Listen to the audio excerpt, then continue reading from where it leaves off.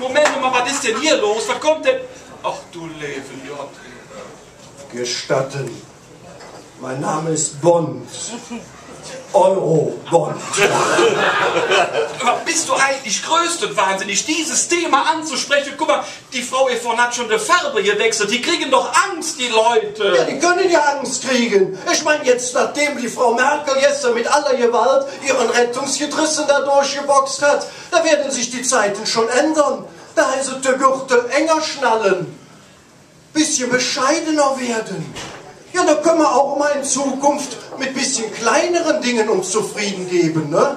Ja, das gilt auch für dich. Okay.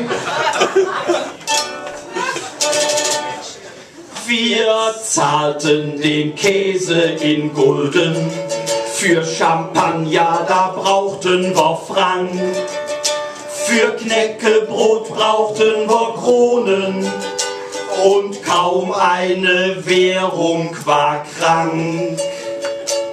Für Paella, da gab man Peseten. Für Pizza muss Lire es sein. Und wurde man um D-Mark gebeten, ja, dann war man natürlich daheim.